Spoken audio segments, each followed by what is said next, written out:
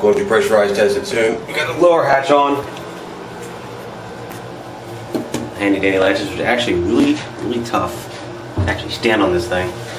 And the check valve portal, which you can actually open up before you open the whole hatch to see if you get flooded or not. So that's kind of cool. And then we're about to do the top hatch up here. All right, so here goes the pressure test. About to close the top hatch. We got the bottom hatch sealed. Pretty strong, as you can see. You can stand on it. Go check out what they're doing. Hookah's running. Goes to the pressure line right there. Right there, pressure line. Comes up and around. For our nice little high speed quick connect right there and then down to the sub. We're about to suck it up in here in the heat for a little while and uh, close the hatch. Thank you, sir.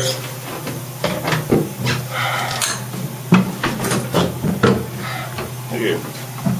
All right, see if we can get a decent shot. Here we go.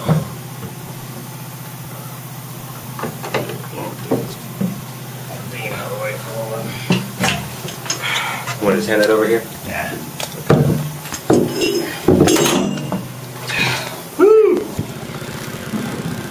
All right, so here we go for the suck. So close, cotton. All right, but okay, so four latches on top, right? Because the ambient sub was nice. I feel that. Feel the air pressure change? Yeah. Four latches on top because the ambient sub actually wants to explode, not implode. Right now, we're actually pressurizing the hull. Obviously, feel it There. Someone listen to the radio. Hello? You got both those vents closed, the large ones? Okay, thank you. We get the pressure turned off from the outside now? No, I, yeah, I shut it down. I'm gonna say. That's why you hear I that. only feel it. So we're gonna close those.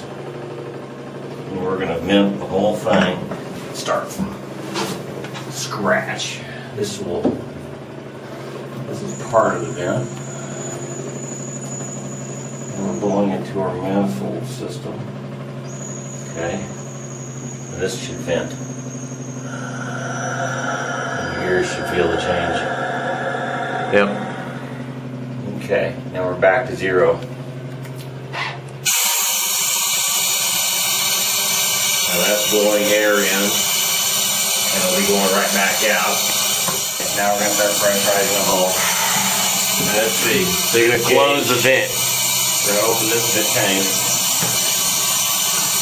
So now that gauge is seeing the outside air and the inside, so we'll see the delta between the two. So now we're pressurizing. Means there'll be more pressure inside than in the tank, which means the tank has a vacuum. So we should see the needle move downward.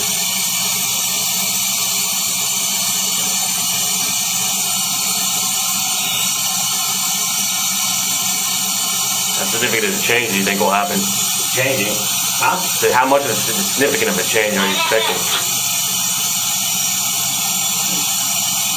We're doing fine. We just started a, a, uh, a pressure run.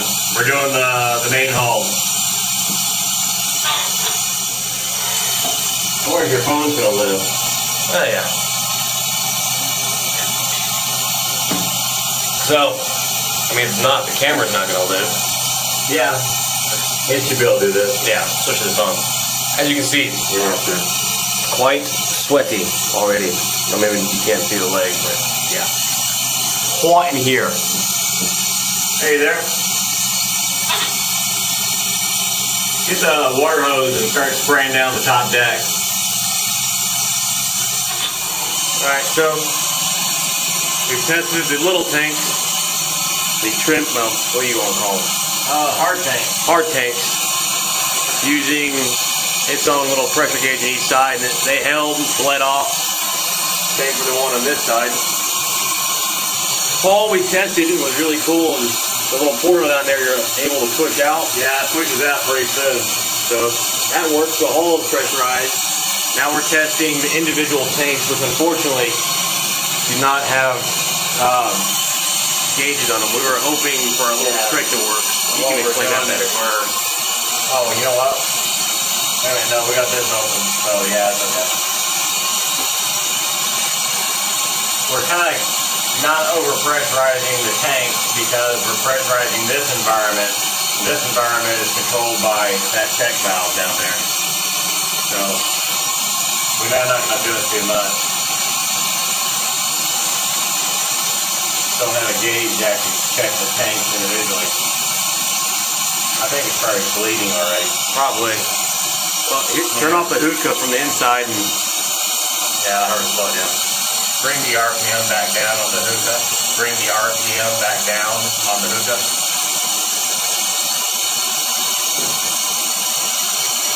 Yeah, and it makes a great sauna. So, uh, what are we supposed to do now? Roll outside in the snow? go dive in the Arctic. Yeah. Good, thank you. Okay. So here in a little bit, we're gonna turn off the hookah, right? No. Yeah, so I'm gonna go ahead and shoot some solid pressure into these tanks. I know how far long it took that one to come up. Like Like nearly. 30 seconds and it was up to about five pounds. Yeah. So we can run these big ones for a minute, uh, getting nothing but pressure. So we're gonna do that. And how are we gonna? You're gonna Uh, we're gonna shut down the pressure. venting into the hull. So you're gonna vent only into. Now it's only going into the tanks Right. for 60 seconds. And that's controlled by the manifold piece right here, which we were venting through that. Normally, the hookah will actually pressurize through these two right here automatically as so that way. Ooh, I can hear the yeah Yeah, I hear good. Shut her down. Turn off the hookah, please. yeah I can hear wood popping. Turn off the hookah. Well, it's okay. I just shut the valve off to it, so. Yeah, no, I just like I started hearing the creak and I was like, ah, don't explode.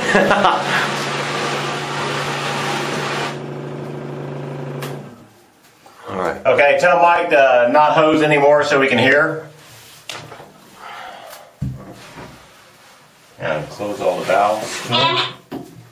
Closed. No more water on the boat. We want quiet. Run silent. Rig for silent running. Okay, so now we've got pressure in the tanks. We got pressure in here, but more of it in the tanks. So the first thing we're going to do Is vent is we're going to vent here to the outside. so that we're This is reminding me that I don't adjust very well. ears very well. Uh, I just great, so sorry. Okay, so we're going to shut the manifold off. And then you're gonna bleed this one, right? Yeah, we're gonna. Well, you have to open we're something gonna- up into- one at a time. We're gonna bleed this out. Uh, Well, you have to open the hull first. So you're gonna have to open this yeah. one. Well, it doesn't matter which one's first, one or the other. So go ahead and slowly pop it open. Okay, we got pressure, which means that there's more pressure in the tanks than there is in here, but there's still pressure in here. So go ahead and open it. Okay, Fully open. Now we're gonna vent our pressure from here instead of you Outside. pushing the check valve open this time. We're just gonna open the vent. There. So that's a hull depressurizing. Yeah, I can feel it. I can hear the wood. Okay. Creak. You hear the wood creak too. Yeah, the wood little creak on it. Yeah. Um, so now the hull, where's we're the only pressure now is in atmospheric the, uh, pressure inside the hull. tanks. Yeah, we could open the hatch now. Um, So now we vent each tank and we see if we hear it. the tank. Yeah. Well, should we wait a little bit longer to see if it's gonna leak? Give it like five Hear the minutes. creaking. I think it's just the heat. I think it's the heat. It might be seal some of the. It's back towards me. I think it's the wood heating up. Well, we could. We could let it sit on them for a little You while. probably want to let it sit because if it's not a significant leak, you're not going to lose a whole lot of pressure. You'll still hear Yeah. Like Let's five do minutes sou- sounds probably. Well, let's open the freaking top hatch and get some air in here. Yeah, that sounds delicious.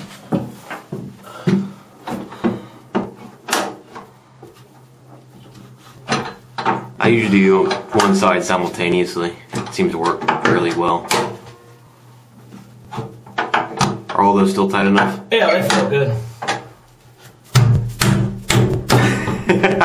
it seals good. Yeah, It does. All right, so uh, let there be daylight. Oh yeah, sun. That's what we need. There's no seagulls though to greet us as we open the hatch. Sunshine coming down in it. Okay, well we we got pressure into the main ballast tanks, and uh, Pardon me while I step down to the shade outside of the submarine. Got pressure into the main ballast tanks and uh, bled a little bit of it off on each of them. Now we're going to let it sit for 30 minutes and uh, make sure that all four of them still have pressure on them. But everything so far looks dandy. Bottom vent, the bottom uh, check valve worked fine. Uh, yeah. Oh, is And, that uh, from sweat or water? I dove into the ocean inside that yeah, thing. It's it's a little warm in there. So uh, looks like we'll Sidon be um, nothing on me. blocking her up and heading to the lake.